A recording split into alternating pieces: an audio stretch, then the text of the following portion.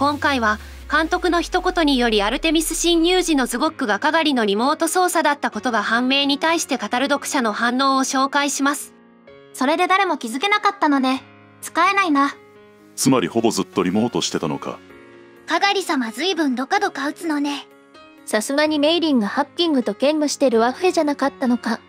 考えてみればさすがのメイリンでも MS でガンガン暴れ回るのは無理か。ハッキングしながらだしなメイリンがやってたのかとビーム垂れ流すだけの簡単なお仕事だし。砂漠の虎と戦ってた女だからなリモートで要塞内を爆破できるし修羅の攻撃にも対処できる。メイリンとずっと一緒にいたからちょっとだけやきもち焼いてたとは思うちょっとだけかな。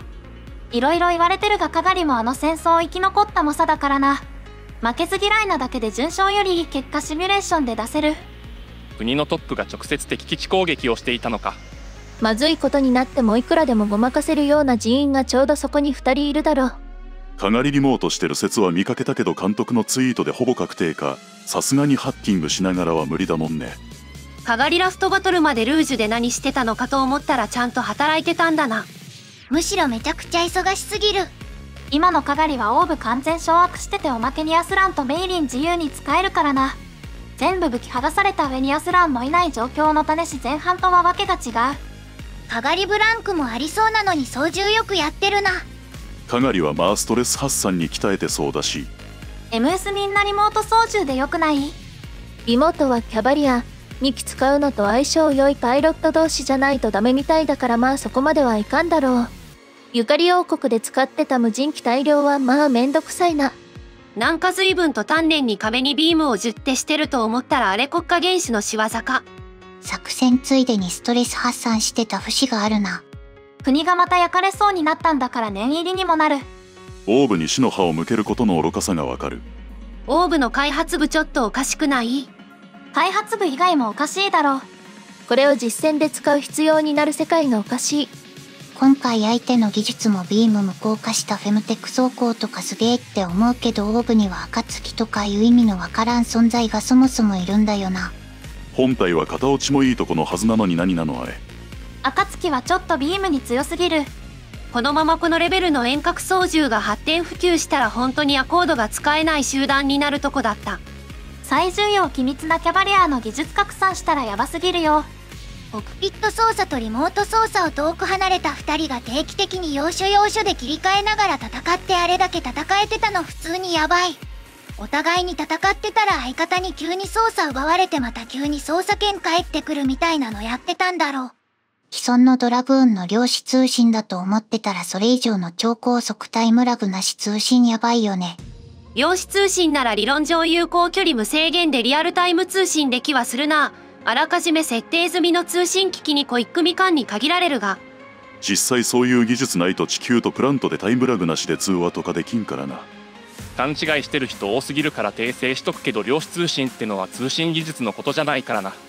暗号化された計算を分散処理する技術のことを量子通信と呼ぶ。このコメ欄の一致もそうだけど有効距離無制限でリアルタイム通信というのは量子通信とはまた違った量子テレポーテーションのことでこれも高速を超える通信は不可能。じゃあなぜキャバリアが高速を超えたリモート操縦できていたのかというとそれはもうアニメだからで納得するほかない。そのうちハッキングで割り込むやつが現れそう。それをメイリンが邪魔するという MS 戦と同時に電子戦もやってるという展開になる。そういう中間者攻撃に耐性があるからこそドラブーンでは量子通信を採用してるのでハッキングには強い。物理的に捕獲してプログラム注入しますとかじゃなければ大丈夫。よかった。メイリンがズゴックで破壊活動しながら一人でアルテミスのハッキング続けるヤバすぎる女から一人でアルテミスをハッキングし続ける普通の女の子になったんだね。十分やばい敵。むしろハッキングの一芸だけで活躍できるんだから消そうとしたレイの正しさが証明されていくんだよな。セキュリティ班の常習犯だからある意味アスランが逃げるよりもやべえやつ。あの後セキュリティ総見直しでザフトエンジニアが紛死したのは想像に難くない。メイリンは早く早く早くって必死にキーボード叩いてたからズゴック操縦するいとまはさすがにないわな。最初は村雨3人組の誰かが代理で操縦してたのかと思ったが。村雨に10気分でレクイエム反射できるなら破格やなってなるの面白すぎる。あの状況じゃ村雨戦機でもオーブ守れんからな。よく間違われますがヤタの鏡は村雨に10気分ではなく M1 やストレイに10気分のお値段です。走行部分のみ。まあ結果論だけど防げた被害の大きさを考えると安いもんよね。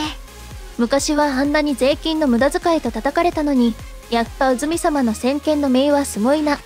村雨に10気分でもお釣りが来るな。って納得感があるからつい間違えちゃうよね。性能に比べると安いと言われるけどこれって製造費で多分維持費は他の MS とは比べ物にならないほどかかりそう。レクイエムクラスのビーム防げるなら安い安いデュランダルがレクイエム手に入れてなかったらアカツキじゃ防げないゼスユニットを撃ってきただったろうしやっぱ運持ってるんだろうなオーブ国民。デスティニー用に対オーブ用の地下施設粉砕装備作ってあるの人の心とかないんかすぎる。暁作り始めたのっていつだっけ初代ストライクと同じ頃。採算度外視の最初の簿記よりもさらに金をつぎ込んだのか原種用の機体として継続的にアプデを繰り返してる設定なので当初はルージュと大して変わらず近畿化でもなかったものと考えられる。アメリカだって日本に最新鋭の機体は渡さないしそれと同じで一番の切り札は自分の側に取っておくというのはベターな考え。こういうの後出しじゃなくて明確にわかる描写入れてほしいわ。レイゴジラとかジュラシックワールドとか後からできますとか実はこれだったんですとか後出しされてもあはいにしかならんしせっかくの熱が冷める。でも侵入時のズゴックパイロットってスランはストフリに乗ってるしキラヤタの操縦できそうな搭乗員が降りて白兵戦しているし言われてみれば確かにって要素では。これは大して必要のない説明で勢いを盛り下げる無能監督。盛り下がる要素ないと思うがかがりすげえとしかならん。いやサブスク解禁で自然に疑問持つ人出てくると思うけどアスランはストフリキラはラクス救出メイリンはハッキングじゃああの時誰がって多分ツッコミ入れる人出てくるぞ。オタクが勘違いしたまま数年後ドヤ顔で解説して公式に否定されて恥かくって流れ何度も見てきたんでこれが正解。インジャリモートと違って誰がやってるかなんてすぐにわからなくても大して問題ないことだからいいでしょう。ただでさえかなり詰め込んでる映画だし。そこで入れちゃったら最後のリモート種明かしのカタルシスが感じられなくなるやん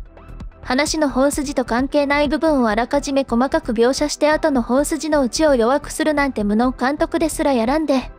今後ガンダムゲームでアスランかかがり操作でジャスティスとズゴック両方を使えそうね。戦闘モーション変更できたりしねえかな。ってことはスパロボに参戦したらキャバリアー状態だとアスラン。メイリン。かがりの3人分の精神コマンド使えるのを。それだとシャイニングガンダムにドモンとレインのコマンドが使えちゃうこれ福田が X でつぶやいた設定ってそのまま公式設定になるのか？公式 HP で解説されたりガンプラの説明書に載ったりみたいな誰でも簡単にアクセスできる情報元として。